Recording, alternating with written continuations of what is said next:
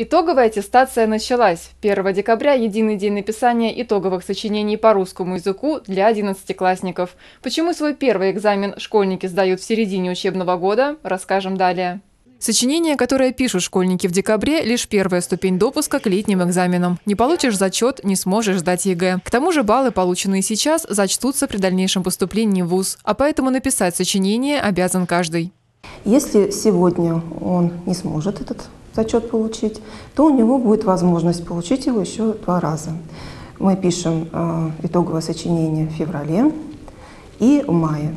За почти 4 часа одиннадцатикласснику нужно написать развернутое, структурное и аргументированное сочинение. На выбор пять тематических направлений. Человек путешествующий, цивилизация и технологии, преступление и наказание, кому на Руси жить хорошо и книга, музыка, спектакль или фильм про меня. В качестве аргументов обязательны примеры из художественной литературы, поэтому подготовка к экзамену начинается задолго до выпускного класса. Не было такого волнения, что что-то не знаю или что-то не смогу написать. Я просто знал, что я а, имею в своем запасе большое количество литературы и большое количество а, выражений, которые помогут мне написать. Мне казалось, будет сложнее. Когда был пробник, я больше переживала, чем на реальном экзамене.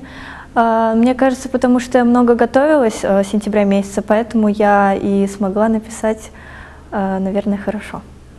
В этом году сочинения написали свыше трех с половиной тысяч одиннадцатиклассников Смоленщины. Оригиналы их работ отправлены в областной центр, а результаты будут озвучены в течение семи дней. Ксения Ложкова, Юлия Соболева, Александр Ерофеев, Десна ТВ.